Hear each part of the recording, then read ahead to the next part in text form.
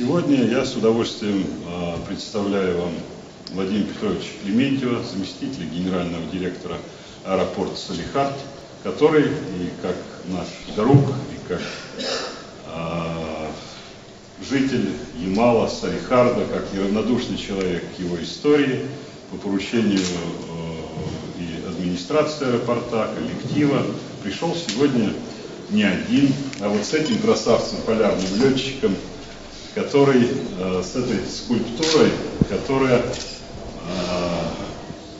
я думаю, имеет тоже большую, потрясающую историю, историю происхождения э, и как художественное произведение. Я не берусь судить о художественной ценности этого произведения, но то, что это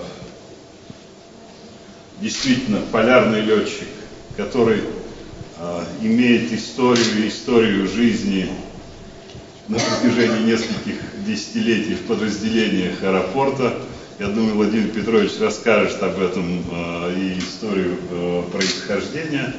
И сегодня аэропорт принял решение о передаче его в фонды музейно-выставочного комплекса.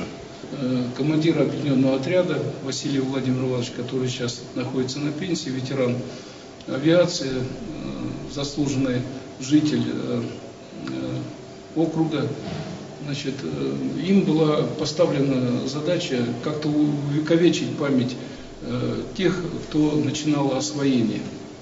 Вот. И заказали мы тогда этот памятник, куда будем его ставить, пока еще не решали. Тут время течет очень быстро, 80-е годы Э, закончились, период перестройки, значит, и этот памятник у нас э, так и стоял, можно сказать. Мысли были, но они какую-то э, нормальную форму ну, мы не могли облечь ее. Когда встал вопрос о экспозиции, значит, вспомнили вот про него, что будем говорить, этот памятник должен занять достойное место именно здесь. Он у вас как член коллектива был, да? Да. Ну, у него усы были, значит, там то во что гораздо были, шапку одел, одел кто-то, кто-то свои очки приспособил. Но он сейчас э, в первозданном виде, как он есть. Его не стали дальше разукраш... разукрашивать. Единственное, что, по-моему, в свое время губы подкрасили для того, чтобы так, как литературный герой был.